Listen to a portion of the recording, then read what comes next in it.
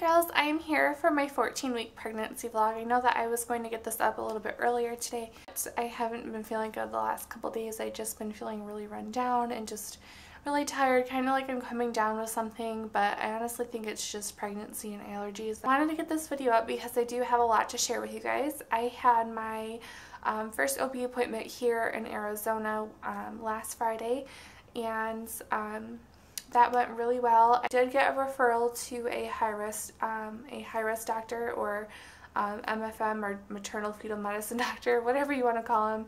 I think they're also called perinatologists. I'm going to be seeing them is because I do have incompetent cervix and I do have the transabdominal cerclage so they depending on um, what he thinks I might be getting cervical checks. Um, I know that there has been some controversy on that with having the check done. My experience and just for my own peace of mind I feel like I would want to have cervical length checks and just to you know get you know regular ultrasounds done like with what I did with Dallas. Um, just so that I can have the peace of mind in case something does go wrong that they are able to catch it right away and hopefully prevent anything from happening. Um, with that being said, I've had felt a little bit of pressure this last these last couple of days and I also think that's probably why I'm not feeling very well. Um, it's nothing super uncomfortable. Um, it's just mostly in like my back and my pelvic area. I honestly think it's just the stretching that's happening. I felt a lot of round, like, round ligament pain um, which I expected to because my belly is starting to um, pop out a little bit and um, become rounder. That being said, I'm going to go ahead and talk about the baby now. Um, the baby is the size of a peach. Length is 3.42 inches. It's pretty big considering um, from last week, so that's really cool. Weight is 1.52 ounces. Langu, I think it's called the Langu hair, Langu.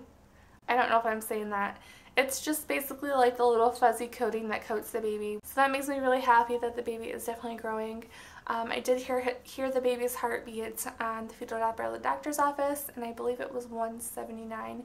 Um, the baby's heart rate usually averages, even on my home Doppler that I have, um, averages about 179 to 165. Only higher than Dallas. Dallas was always in the 140s or mid 150s. You are going to be finding out the gender this Saturday at 3 o'clock. So I'm really sorry about that guys. This thing decided to break off my tripod so now I got to figure out how to fix this. If I can even fix it. I might just try to super glue it or something. but anyways. As I was saying, so I'm just, we're really excited to be finding out the gender.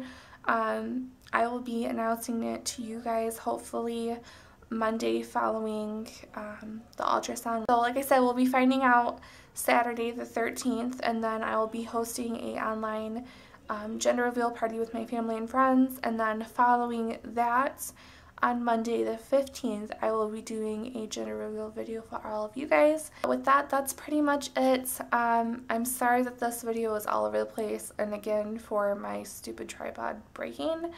Um, I'm definitely going to have to fix that today. So um, I'm going to go ahead and show you the belly. I did bare belly and covered. Um, I probably won't do bare belly every single time just because I am a little bit self-conscious, um, but I thought I would try it this time. Um, but yeah, I will see you guys for the gender reveal and my 15 week update. Alright, bye.